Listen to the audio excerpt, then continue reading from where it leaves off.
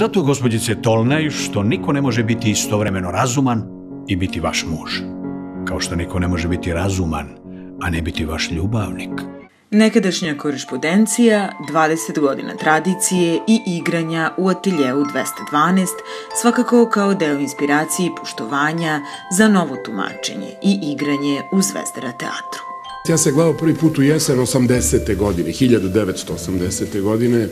E, e, imao sam 14 godina u Sarajevu na, na, na festivalu koji se zvao e, Dani komedije i od nas sam je gledao narednih 20 godina jedno tri ili četiri puta svako toliko. Sazrevajući kao valjda čovek biće, a i kao neko ko će se kasnije, e, e, ko će želiti da se bavi pozorištem, pa će studirati to, pa će se posle baviti pozorištem. Pre 20 godina Gorčin je poslednji put režirao na sceni Zvezdara teatra i tu i upoznao velikog Batu Stojkovića, nosioca tadašnje korespondencije. Danas Gorčin ne veruje u slučajnosti te tako se i poklapa da je pre 20 godina takođe radio i sa Branislavom Lečićem. Pozorište živi uveliko i ovaj, šalje dobre poruke i ako malo ozbiljnije zanovite u svako pozorište vidjet ćete da tu ima dosta zanimljivih stvari koji ka, i, i tekako trebaju u ovom vremenu. E, što se tiče Pekića, ja sam imao tu lepu situaciju i sreću da ga upoznam potpuno spontano u Londonu i bio sam u njegovom stanu jedno 5 sati. Bilo je planirano da se vidimo kratko, ali ostali smo 5 sati u jednom e, lepom i temeljnom razgovoru, iako sam ja bio mladi glumac koji se tamo pojavio i koji je ovaj, mu se javio telefonom, on je bio radoznao da sve živo sazna šta se u tom trenutku moglo saznati i bilo mi je zaista zadovoljstvo i posle kad se pojavio ovde u Srbiji, kad je učestvovao u demokratskim promenama.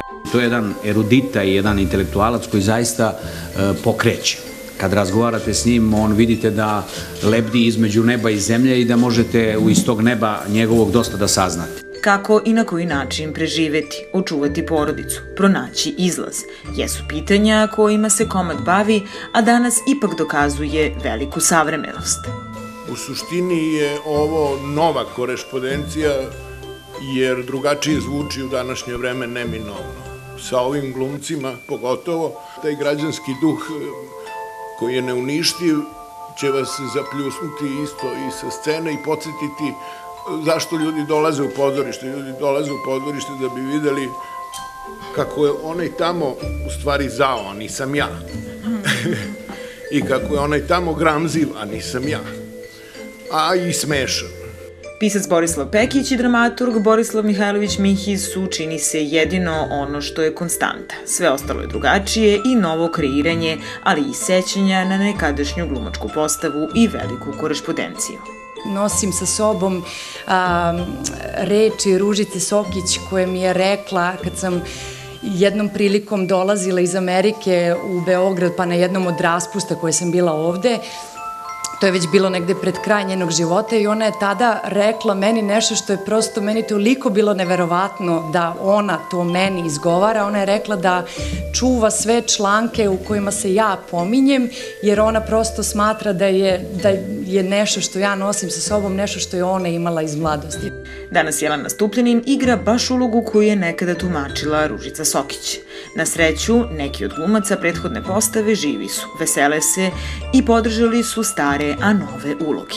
Za mene lično kao, kao glumca e, velika je privilegija da dobijem ovakvu neku ulogu u ovakvim mojim godinama, dakle u pravo vreme i na pravo mestu e, i uz pravi blagoslov Mire Banjac, E, sa kojom sam se čula pre nego što smo počeli da radimo, koja nam je svima ne samo odobrila, nego nas je sve i podržala.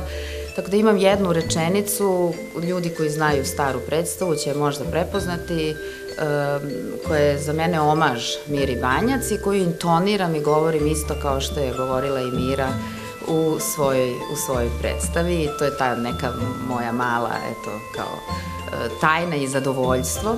Jedan deo publike možda će porediti predstave.